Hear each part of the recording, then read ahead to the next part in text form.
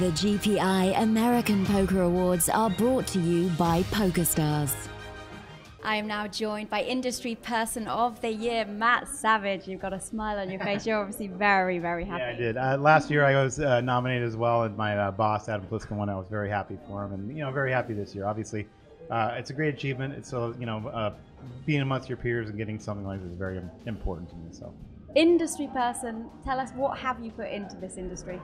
Uh, I've In put a nutshell. lot. I put a lot, maybe too much. You know, I've uh, dedicated my life to my work, and maybe uh, short shorted my family a little bit on the time. So, uh, you know, hopefully in the near future, I'll be able to work less and uh, give more to my family. What's coming up for you this year?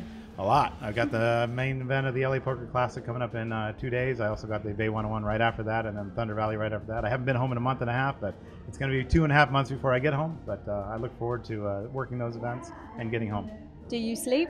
I don't sleep much because I golf in the mornings and I work at night. But uh, yeah, it's uh, it's a long grind. I like the shout out. Your wife got a shout out, and your golf buddy's got a shout out. Exactly. Wh- which one's more important? Uh, my wife, of course. Obviously. I I'm live correct answer. I'd be dead if I didn't say that. Yeah, my wife. She puts up with so much. It's uh, you know, I really, I really appreciate all she does for me. And I hope you've got some space for that. I do. I got plenty of space for it. Thank Congratulations you. Thank once again. I appreciate it.